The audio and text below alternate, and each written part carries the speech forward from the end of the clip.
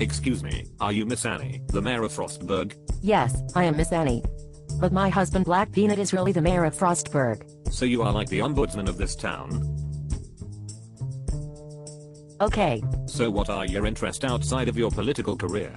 Love the Amish and the Amish culture. Small world. I'm Amish. No. No, I don't believe you are. What? Are you crazy? Look at my beard. Look at my clothing. Listen to my accent. I'm pure blood Amish. Pure and true. No. You are not. I think you are an English barrister practicing law in Pastoral, Maryland. Look at my horseless carriage. That is a Honda Civic. I'm Amish, and you love me, damn it. You love me like the farmer loves his land. Let us go, and do it like the cows do it. If you were really Amish, your beard means that you are married. I'm married to my work. My work on the good land. Okay.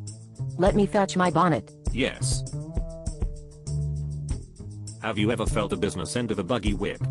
Meet me at my buggy in 10 minutes.